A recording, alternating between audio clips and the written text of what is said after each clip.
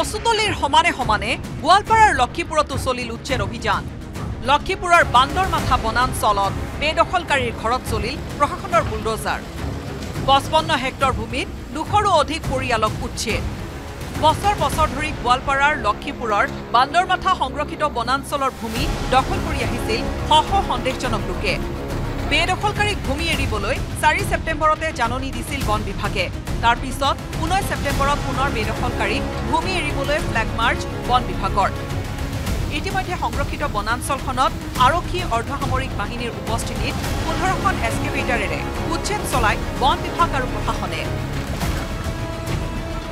আজি বান্দাৰমাতা reserve forest আমাৰ Lakhipur area ৰেঞ্জৰ ৰেঞ্জ এৰিয়াত আছে। এইটো আমি আজি এনক্ৰচমেণ্ট ফ্ৰী আমি কৰি আছোঁ। মোটামুটি ছিক্সটি হেক্টৰলৈকে আমি ফ্ৰী কৰিম four hundred plus illegal settlement আছিলে এইবিলাক ক্লিয়াৰ হৈ যাব। আমাৰ নেক্সট টাৰ্গেট বাই এপ্ৰিল ইয়াত এইটো জেগাত প্লাণ্টেশ্যন লৈ আকৌ যেনেকৈ ফৰেষ্ট যেনেকৈ আছিলে এইটো ৰিভাইভ কৰা আমাৰ চেষ্টা চলিব।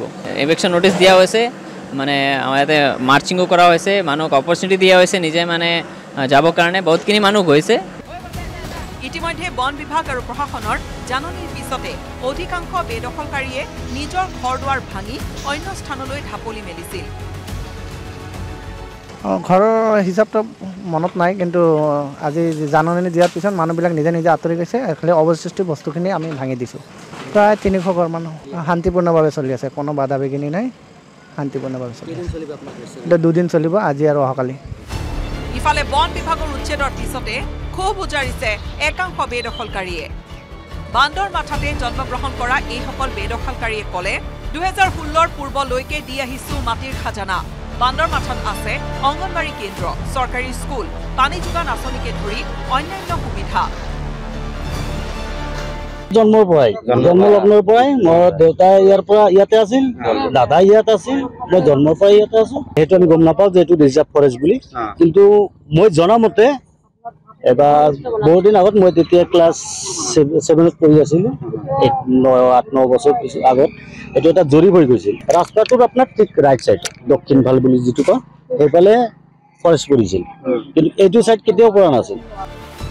চৰকাৰী ভূমি দখল কৰা সকলো লোককে উচ্ছেদ চলাব বুলি মুখ্যমন্ত্ৰীয়ে কৰা ঘোষণাৰ পিছতেই তৎপৰ হৈছে প্ৰশাসন তথা বন বিভাগ। বুধবাৰেও লক্ষীপুৰৰ বান্দৰমাথা বনাঞ্চলত বন বিভাগে চলাব উচ্ছেদ।